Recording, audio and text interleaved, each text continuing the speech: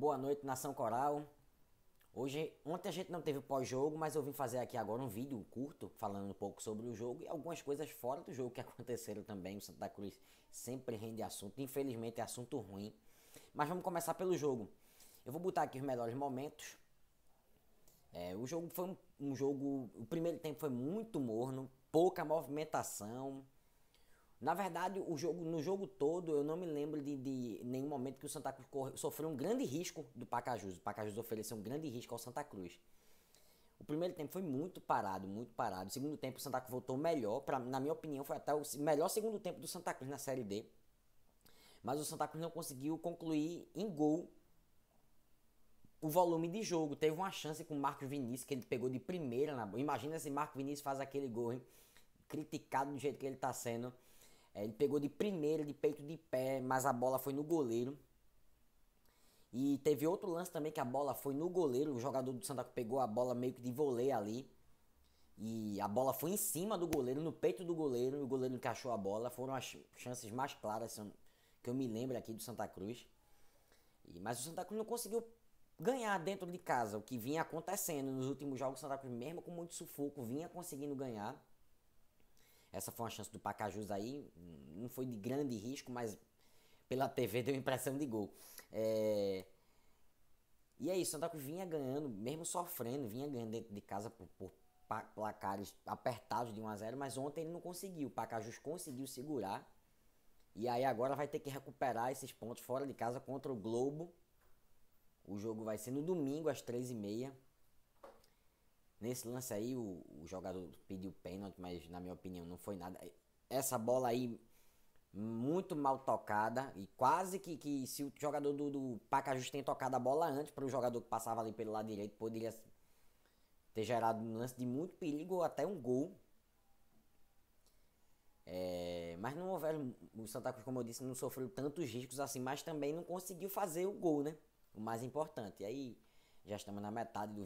São 3, 4 minutos de vídeo nos melhores lances para você ter noção do que foi o jogo. Muita bola cruzada na área. Pipico mais uma vez saindo muito da área para buscar jogo fora. Pipico jogando pelas pontas em alguns momentos, tentando criar, cruzar a bola na área, que a gente sabe que não é o papel dele, né? É, mas ontem o Pacajus veio aqui no Arruda para conseguir esse ponto, né? E conseguiu esse lance aí. Eu acho que o jogador podia ter cortado e batido. É, eu já vou me adiantar aqui que eu posso até estar tá errado. Olha aí o lance do Marcos Vinícius. Ele bateu até certo, mas o goleiro pegou. É, eu posso até. Esse outro lance aí, ó. Lance bonito, bateu no peito do goleiro. É, eu posso até estar tá errado aqui, mas pela movimentação e pelas chances que o jogador criou, o melhor jogador do time, para mim, eu posso estar errado, foi o Lucas. Para mim foi a melhor partida dele ontem na Série D. Ele criou muitas oportunidades, fez muitas jogadas pelas pontas, correu muito, driblou. Voltou a ser o Lucas, é, tabelou muitas tabelas pelas laterais. Voltou a ser o Lucas do Campeonato Pernambucano, né? Mas infelizmente a bola não entrou. Aqui tiveram mais alguns lances. É, sem muito perigo também. O, como eu disse, o Pacaju não ofereceu perigo. E aí o jogo acabou em 0 a 0 e o Santa Cruz perdeu, na minha opinião, não ganhou um ponto, né? Perdeu dois pontos dentro de casa. Aqui acabou. Vamos lá. Eu vou deixar essa notícia aqui para o fim. Aqui o público foi de 16.233, a renda de 360 mil reais 457. Público ótimo de, é, diante da chuva, quinta-feira. É, o, preço dos ingressos até que foram bons, mas quinta-feira é um dia horrível para ir para um jogo. Sexta-feira todo mundo trabalhou. Aqui a classificação.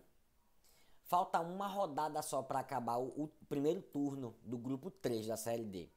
Santa Cruz e Pacajus em primeiro lugar com 11 pontos os dois.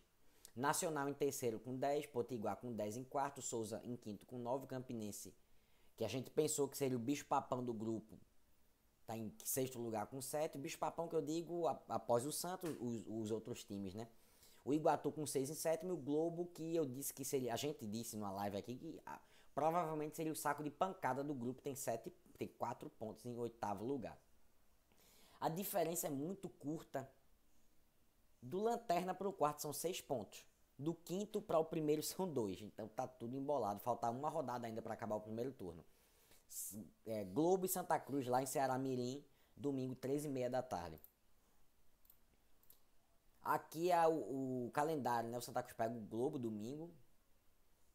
A, tá, tá aqui às 16, mas tá marcando as, as 15 e 30, na verdade, o jogo. Mas é, tá aqui às 16. Quarta-feira, no Arruda, Santa e Globo, não, não. Quando eu procurei, quem fez o calendário fui eu. Não tinha horário definido, então não, eu achei melhor não colocar aqui. Depois Santa Cruz, é, Pacajus e Santa fora, dia 17. E depois é, fora também Santa e Souza e Santa. Dois jogos fora. No dia 1, Santa Cruz volta pro Arruda para pegar o, o Nacional. É, então é isso, esse mês aqui a tabela é essa. E aí o Santa Cruz em quatro jogos teve 76.594 torcedores e uma renda de 1.579.481. Uma renda absurda, tá aqui, ó, botei detalhado. Santa Iguatu 13.026, 226.728.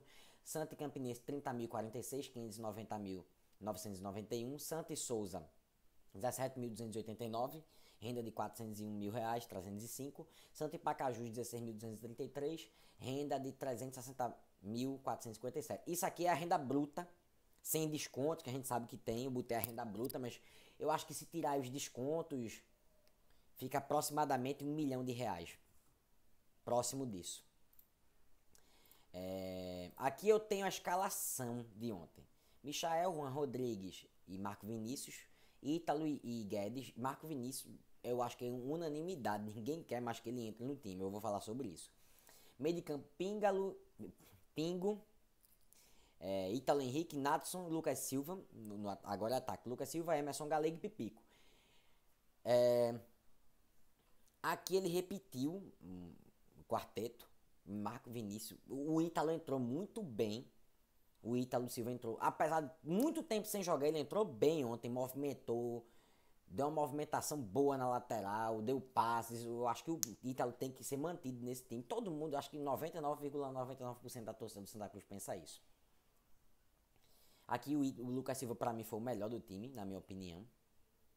É, o Italo Henrique, muito mal. O Marco Vinícius, muito mal. E aqui o banco: Geazi, Léo Fernandes, Ian Oliveira, que para mim é titular desse time.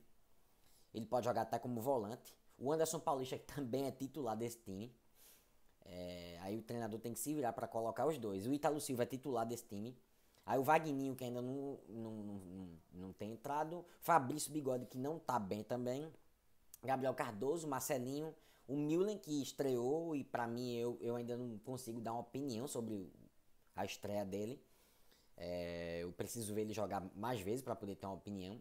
Maranhão, corre muito, corre muito, mas só isso.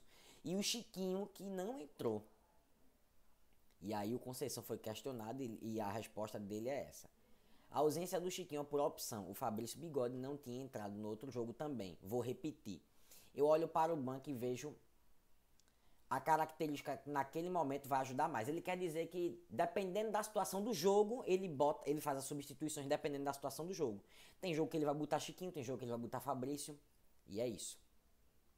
E aqui as alterações que ele fez no segundo tempo. Tirou o Ítalo Henrique que estava mal, botou o Fabrício, que também não vem, não vem muito bem. É...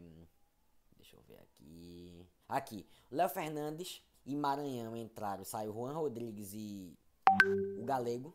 O Galego correu muito, se dedicou muito, mas é isso. O futebol do Galego é esse. De vez em quando ele vai fazer um gol. Juan Rodrigues eu achei que foi bem.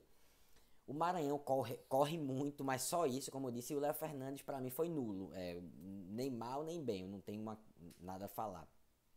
Depois entrou o Milen e o Italo Silva. O Italo Silva eu achei que foi bem, o Milen foi nulo. Saiu o Pingo, que também não foi mal, e o Marco Vinícius, que para mim é o pior jogador desse time.